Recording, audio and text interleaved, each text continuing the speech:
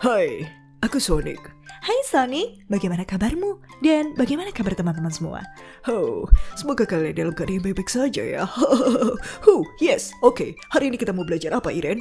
Hari ini, uh, apa ya? Kak Iren, hari ini kita mau belajar apa ya? Hmm, hari ini kita mau belajar apa nih enaknya? Public speaking, youtuber, pengisi suara, apa dong? Oh, up to you, up to you. Terserah kamu aja deh, aku ngikut. Oh, oh, oh. Bye-bye.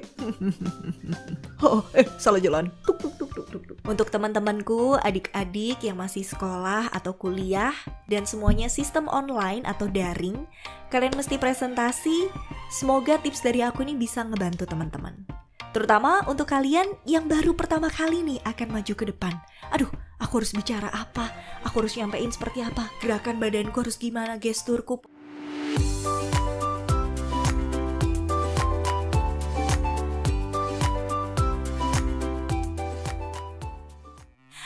Welcome back to my YouTube channel dan masih barengan sama aku Irene Lipesik.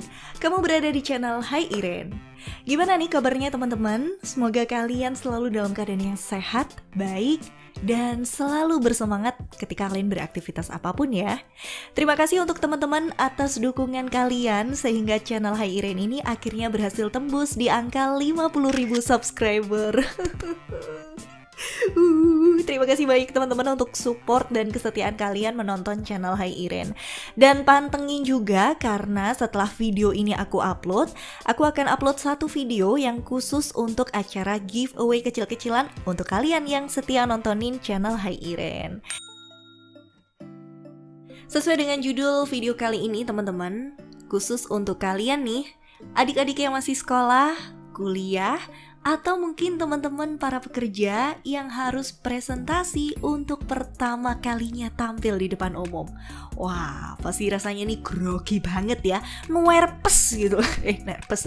Pasti rasanya tuh grogi, nervous dan menurut aku itu hal yang wajar banget. Termasuk aku pribadi pun juga mengalami hal tersebut. Gak cuman ketika kita harus tampil di depan orang banyak, bahkan ketika kita wawancara kerja satu lawan satu, itu aja udah deg-deg duar.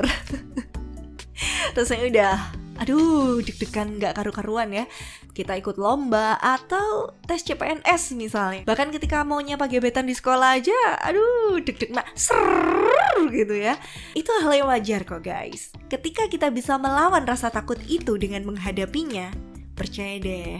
Yang kedua, ketiga, keempat, dan seterusnya mah lewat atuh.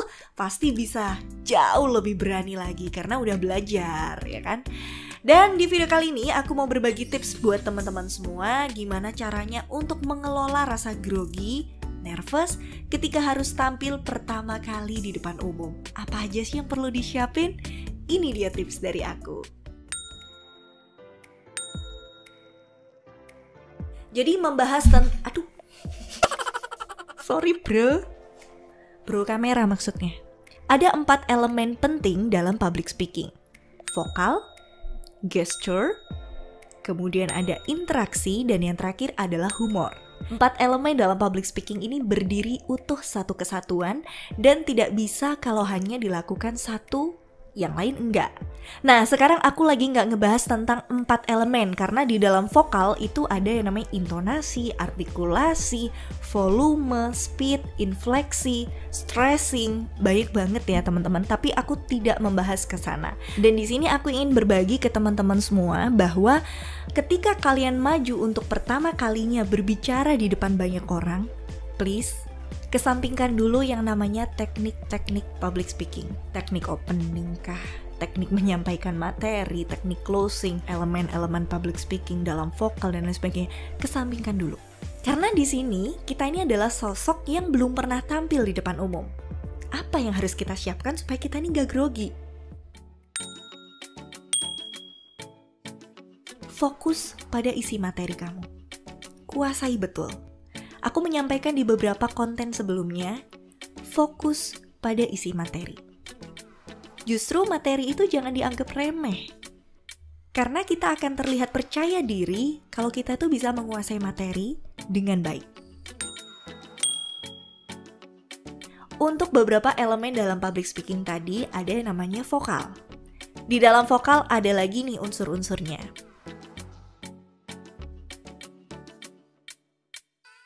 Tapi di sini saran aku pribadi ya, teman-teman fokus ke tiga hal aja. Artikulasi, tempo, dan volume suara. Untuk yang samping-sampingnya nanti teman-teman semua itu bisa di-upgrade step by step di setiap presentasi-presentasi selanjutnya. Fokuslah pada tiga hal itu. Artikulasi.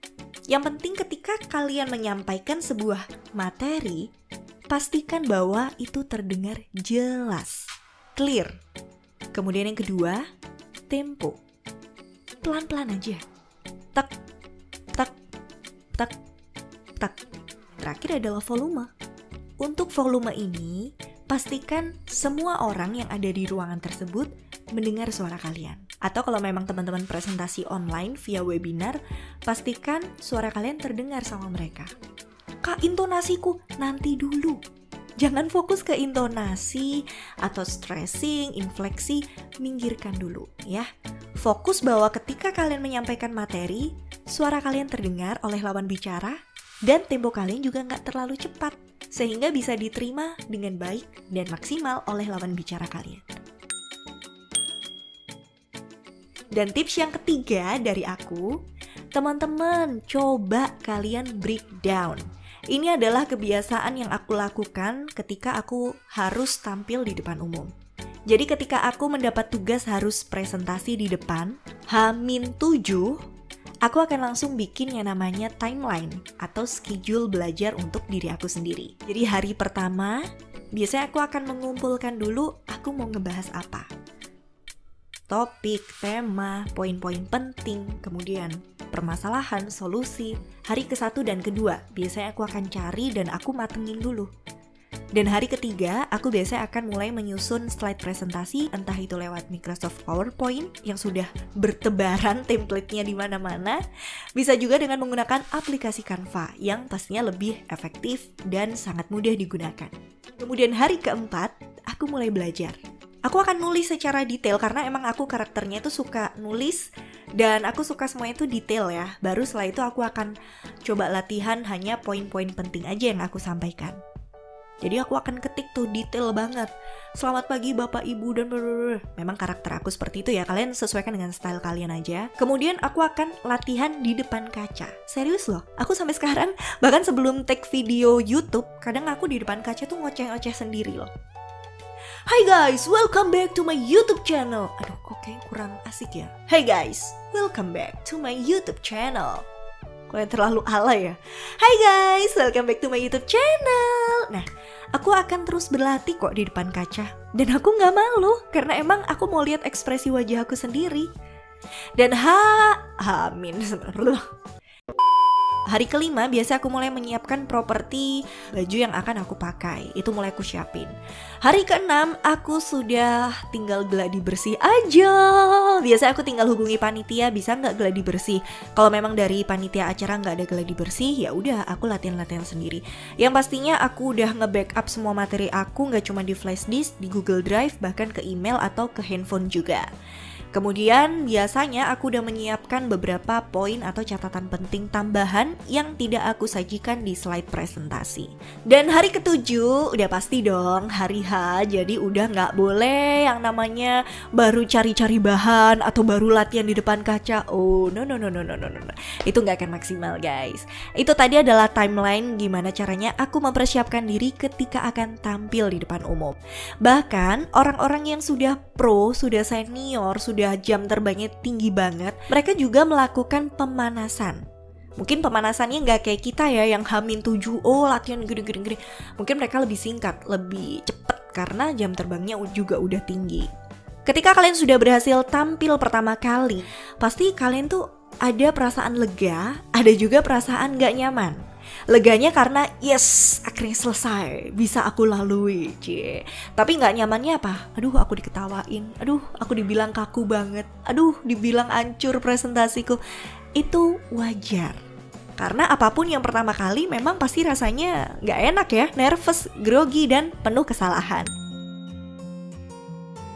Dan sedikit yang aku tambahkan untuk teman-teman sekalian, jangan lupa untuk selalu berdoa dan berpikir positif.